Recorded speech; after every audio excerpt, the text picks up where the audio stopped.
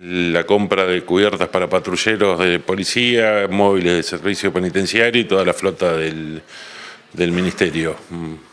Son más de 2.500 cubiertas y una inversión total que va a rondar los 470 millones de pesos, eh, que se suma a todas las que se vienen haciendo para mantener la flota en condiciones. Implica tener operativa toda la flota, si se le suma la compra de repuestos que se hizo a principio de año, la compra de móviles y demás, más presencia policial en la calle y la flota en condiciones de, de poder salir a la calle. Nos pone muy contentos la cantidad de oferentes que tuvimos de todo el país, más de 11 oferentes, lo cual es bastante raro, y se terminan adjudicando a cuatro de la provincia, de afuera, de Viedma, así que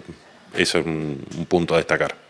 El procedimiento de rutina es, ahora se hizo la preadjudicación,